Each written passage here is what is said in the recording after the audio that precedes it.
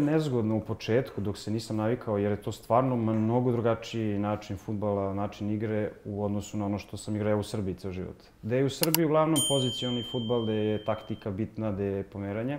Nije toliko otvorena igra, više se gleda da se sačuva gol pa gore šta se uradi, jel tako? Ovaj, a dok je u Austriji je bitno samo se da gol. Znači, gol više stvarno se igralo. E, mnogo trčanja, kada se lopta oduzme nema previše igre, nego se odmah gura lopta napred, da se što pre ide u završnicu. Tako da u početku mi je stvarno bilo onako malo i nezgodno, dok nisam ajde prihvatio taj način i, i shvatio kako to tamo ovaj, treba da izgleda. E, to su treninzi bili, znači mi smo, bilo je obaveza da se nose kostobrani na treninzima jer su stvarno bili grubi startovi, to je stvarno, svaki trening bio utakmice.